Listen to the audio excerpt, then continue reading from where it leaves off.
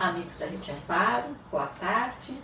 Hoje estamos dando continuidade ao tema demência na doença de Parkinson, alterações cognitivas na doença de Parkinson, respondendo então a uma pergunta de uma amiga da Rede Amparo, que fala que o marido tem Parkinson há 10 anos, ele vinha bem, era conseguia era independente, conseguia fazer tudo sozinho, até que começou a desenvolver a demência. E depois que ele começou a desenvolver a demência, tudo piorou, inclusive a parte motora, a independência para realizar as coisas, e ela pergunta se isso é normal.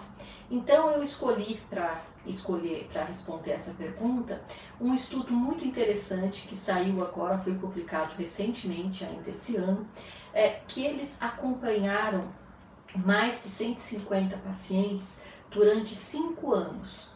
Então, há cinco anos atrás, eles começaram, eles avaliaram todos esses pacientes e eles dividiram esses pacientes, eles puderam é, agrupar, agrupar esses pacientes em três subtipos da doença de Parkinson.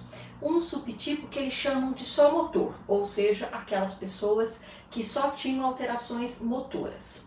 Um outro subtipo aonde aquelas pessoas tinham alterações motoras e cognitivas.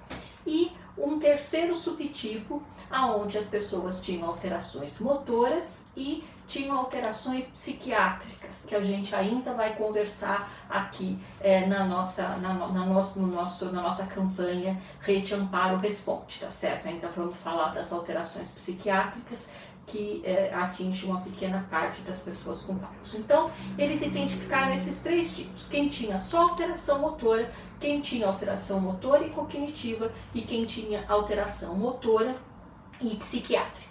Muito bem, e eles continuaram seguindo esses pacientes, eles continuaram acompanhando esses pacientes numa média de quase cinco anos, certo? Bom, é, ao final então desse estudo, 46 pacientes tinham vindo a óbito, 46 pacientes tinham morrido. Então, é, quase um terço dos pacientes tinham morrido.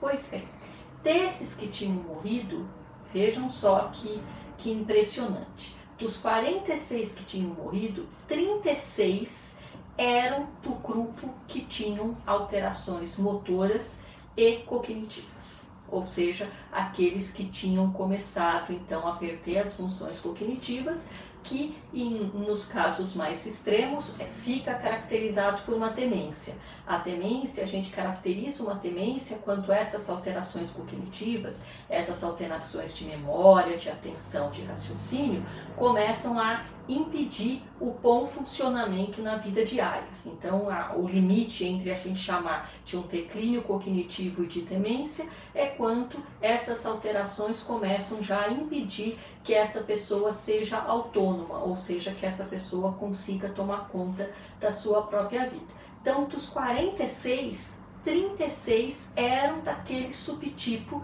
que tinha alterações motoras e cognitivas. Apenas 7 eram do grupo que tinha só alteração motora. Então vejam a diferença. A proporção de pessoas que vieram a óbito durante esses cinco anos que tinham alterações além das motoras, as cognitivas, e o um número pequeno de pessoas que também veio a óbito do grupo que só tinha alteração motora.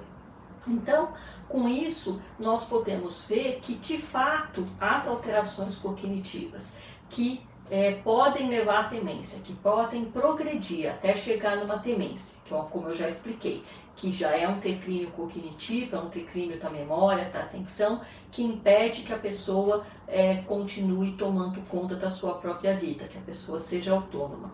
Como ela está associada a uma maior mortalidade, tá certo?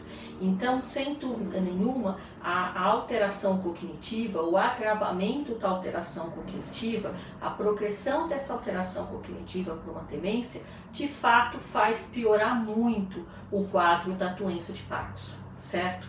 Então, nós devemos, o que, que nós podemos fazer então? Nós podemos é, investir que, além da, da manutenção das funções motoras, a gente também é, trabalhe para a manutenção das funções cognitivas, para que esse declínio cognitivo não progrida para uma demência e que isso não faça como o caso da nossa amiga da Rede Amparo, piorar tudo, como foi o caso que ela contou do seu marido, que depois da demência tudo piorou. Então, o que cabe a nós, então, combatermos não só as alterações motoras, como também as alterações cognitivas. Então, amanhã a gente vai continuar falando desse tema e tá aí nós vamos falar então de estratégias de um estudo mostrando então é, é, algumas evidências sobre é, estratégias para combater esse declínio cognitivo.